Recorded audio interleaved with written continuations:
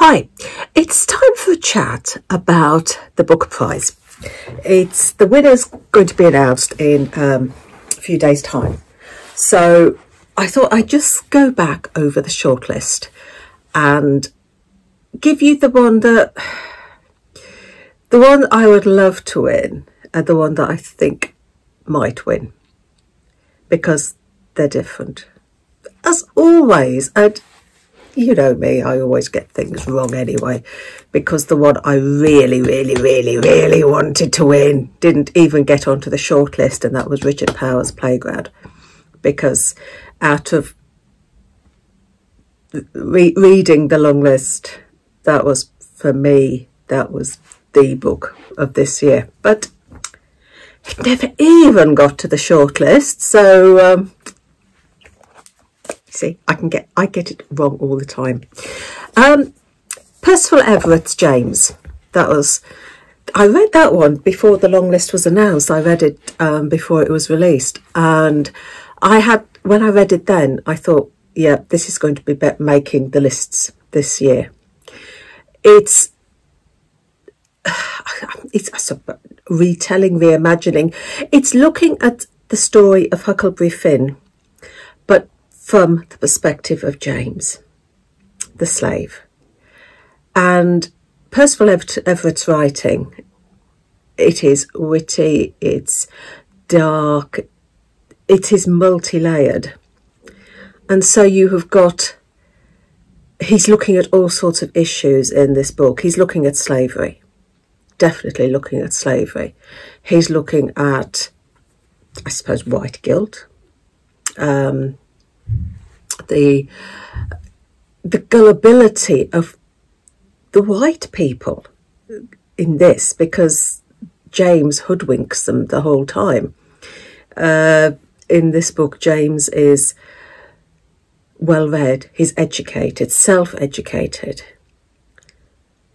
but he talks in the way that he knows the masters want him to talk. So it's almost as though he's, I was going to say manipulating, but I don't think he's manipulating, but he's performing in a way that is expected. But then again, the masters perform in the way that they are expected to do. And so you've got this brutality and violence. And you've got this relationship between James and Huck. Um, Huck's this young boy um, escaping from a, an abusive father. Jim is running away because he's about to be sold. And, and so they form an alliance. There's a sort, they protect each other but there is still, Jim is still, or James is still having to put up this pretense in front of Huckleberry Finn. There is so many layers in this. It is a very, very clever book. There's dark humour, there's brutality, there's... It is an excellent book and one that I, I earmarked then to be on the lists. Um, then uh, another one is, oh, I've bookmarked it, but I can't. Hang on, hang on, hang on. Um, I'll get there in a minute. Orbital by Samantha Harvey. Again, this is a very good, a very beautiful book because you've got the prose in this that is absolutely stunning. This, the imagery, and it's a book about content, uh, contemplation.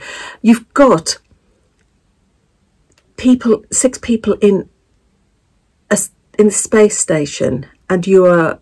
The book covers one day when they are looping around the earth. They loop around the earth 16 times. And so they are watching multiple sunsets and sunrises and daybreaks and and they watch a typhoon working its way across as well. And they see boundaries, you know, the, the boundaries that countries put up against each other, but from space, there are no boundaries. Um, and it's a meditation of humanity and life. And I, I love the technicolor images that they, the imagery that you see, the, the one that stood out for me is fishing boats on an ocean, almost like the stars in a sky. You know, I, I, absolutely beautiful writing in that one. Um, Stone Cold Devotional by Charlotte Wood. Again, a very meditative book. It's like an, a diary of an unnamed narrator who has taken herself away on a retreat. She's left her marriage, she's left her career, she's escaped. Initially, she was just going to go away for a week, but four years later, she is still in this retreat as a volunteer. She's not overly religious, she's not embraced the religious lifestyle, but the rituals and the routine are calming. And things happen during this um, this stay of hers. Three visitations. You've got a mouse plague. You've got bones found being returned, and she's got an old schoolmate arriving, who, when she was at school, who she actually bullied. Um, you see her backstory, you see her relationship with her parents, you see grief, you see shame. Um, and you see almost guilt that she she she never had that relationship with her mother because her mother died when she was so young she she wishes she'd been older when her mother died there's a darkness and a despair there, but there's also a meditation. It's a very contemplative book. Um, moving on to Safekeep by Yael van der Wouden, set in 1961 Holland.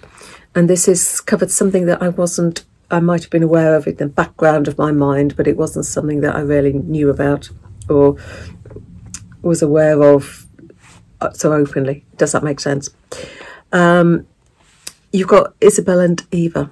Isabel is Isabel and her family have this country house. Um, Isabel is the only one left there now because her brothers have gone off into the city.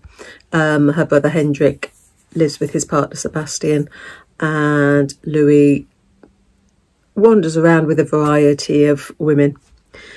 Isabel stays at home. She's a very repressed character. She's obsessive about the house, about the things in the house. Um, she's always counting them, making sure they're there, making sure the, the house servant hasn't taken them or broken them or moved them. She, she is obsessive about the house.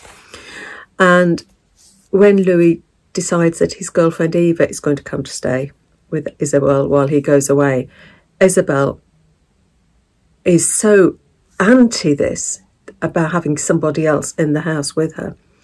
And she constantly watches her because she thinks Eva is going to be stealing because things are starting to go missing. And you get the relationship between these two women developing. Um, it's a very slow burn. It's a very sensual novel. There's a sensuality in it, written in three parts. But the third part is one I, I didn't expect. I didn't see the third part coming.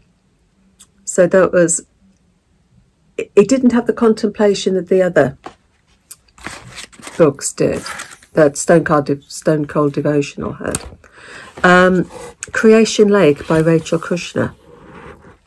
Um, a sort of spy thriller, but again, you've got a contemplative book. Um, Sadie Smith, she's a, a, former spy and she was sacked from the federal agency and she now freelances.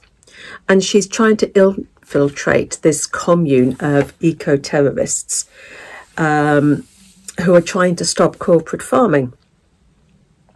The mentor of this group, he lives away and he sends them emails talking about almost creation, um, the Neanderthals and the Neanderthal way of life and non-violence. And Sadie's bosses want her to manipulate the action and murder a government official, but uh, the mentor is advocating non-violence. Um, you see some of Sadie's past lives, and I find her. I found her an unreliable character. I, I like the the the emails, the the the Neanderthal bits, but Sadie I found a very unreliable character. I, I wasn't sure about that one at all. I mean, again, I will probably get it totally wrong, and this is the one that wins. But for me, she wasn't a reliable narrator. Um, then held by Anne Michaels. Beautiful imagery. She's this poetry in here. Um, and it's one that I've now read twice. We start off in 1917 with a man in a trench, in, in one of the trenches, and then looking at his life and how he met his wife and then you move forward and he's got this photography business and you've got supernatural elements and you've got jumps over time and connections to this original guy who was in the trench. Um, you've got links with photography, with war, with nursing. Um, Marie Curie pops up as well.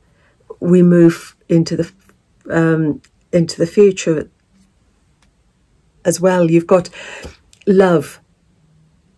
It, it, to me, it's a contemplation of love and how it remains even after death. You've got science, you've got faith, you've got physical and spiritual memories and the held, for me, held is you are held by your memories, you're held by your parents, you're held by your lover, you are held in love by your memories. Um, I thought it was absolutely beautiful. I've read it twice. Well, I, I listened to it once and I've read it twice. Um, I, lived, I listened to it originally and then I read the physical book. And I, this is the one I want to win. My heart wants this one to win. It really, really does. Because after Playground, this this was the book for me. Um, my head thinks it will probably go to either Percival Everett or Stone Cold Devotional. Um, my heart once held but my head says it'll be one of those two, one of the other two. Um, it'll probably be one of the other three. But I, I don't know. It's I enjoyed the list this year. I enjoyed the long list and the I, I enjoyed reading the books this year. I found a lot more in in them this year than um, that I enjoyed. Uh, there's so much and it was strange that they there are so many content, meditative novels in the shortlist. For, for, for me, anyway. Um, I, yeah, for me, fingers crossed it's held. But I think it will be either um, Percival Everett or Stone Cold Devotional. I don't care which one wins, really. I mean, you know, if if either of those won, fine, because I've, I enjoyed them both. Um, they were my one, two, three. Those were my one, two, three.